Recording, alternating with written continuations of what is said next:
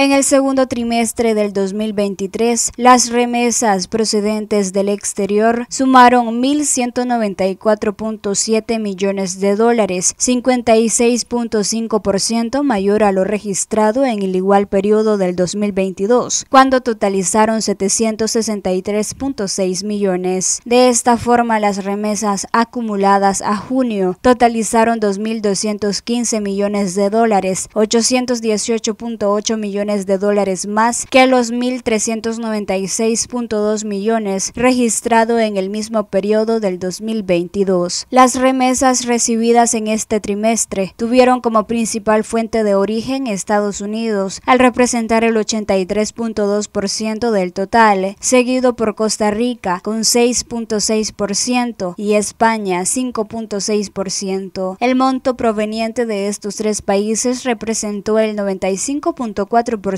del total de remesas recibidas. Los flujos de remesas procedentes de Estados Unidos sumaron 994.2 millones de dólares en el trimestre, las cuales mostraron un crecimiento interanual de 70.8%. El valor promedio de las remesas recibidas fue de 287 dólares, siendo menor en 2.2%, mientras que la cantidad de transacciones aumentó 74.6% en términos interanuales. Las remesas acumuladas a junio totalizaron 1.818.2 millones, 77.4% mayor a lo observado a junio del 2022, cuando se totalizaban 1.024.9 millones de dólares. Las remesas procedentes de Costa Rica fueron de 79.3 millones de dólares en el segundo trimestre, 24.5% mayor a lo registrado en el mismo periodo del 2022. Las remesas procedentes de España sumaron 66.4 millones de dólares, reflejando aumento interanual del 1.1%. De Panamá se recibió 15.3 millones de dólares, cifra inferior en 2.5% al registrado en igual periodo del 2022. De Canadá se registró 9.1 millones de dólares, siendo superiores en 4.6%. Y de El Salvador ingresaron 4 millones de dólares, registrando crecimiento interanual del 25%.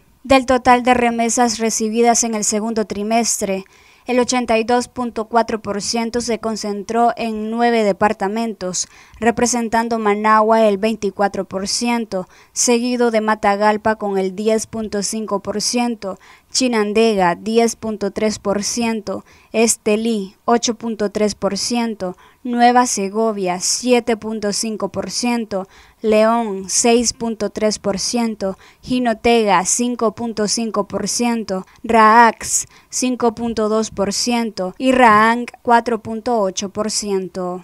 En todos los países centroamericanos se registró aumento de las remesas, destacándose los mayores crecimientos interanuales en Nicaragua con el 58.6%, Guatemala con el 10.9%, Honduras 7.4% y El Salvador 5.6%. Para Noticias 12, Luisa Centeno.